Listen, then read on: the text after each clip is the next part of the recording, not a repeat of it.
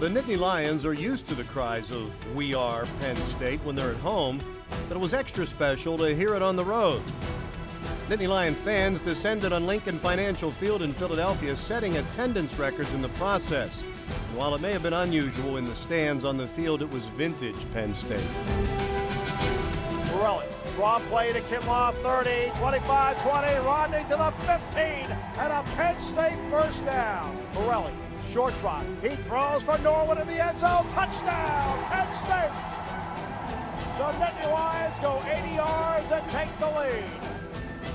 And back he goes. Rolls far side, now rolls right, steps up, long and deep. He wants Derrick Williams, jump ball, and Williams grabs it at the 22-yard line. What a tremendous catch by Derrick Williams. Quarterback Anthony Morelli was hot from his first pass and led Penn State to two touchdowns on their first two possessions. Morelli play action, sets. He wants the end zone. He wants Norwood. He's there. Touchdown, Penn State. The Nittany Lions stepped out of the Big Ten for a week, but the rest of their game remained the same. A stifling defense led by linebackers Dan Connor and Sean Lee. You need a takeaway right here. They pitch it. They're going to go on the reverse to Francis. High pitch juggled it. Bubbles the football. Picked up by Sean Lee. Lee will go down at the 22-yard line. Still going 25-yard line. In the end zone throws. It's complete to Liverpool. Hit by Connor and thrown down.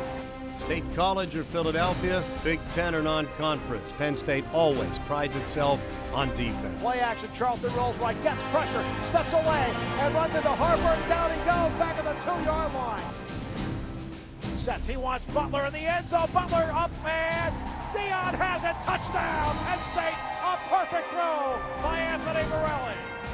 Rodney Kinlaw, graduate student, fifth year senior, the embodiment of a Nittany Lion.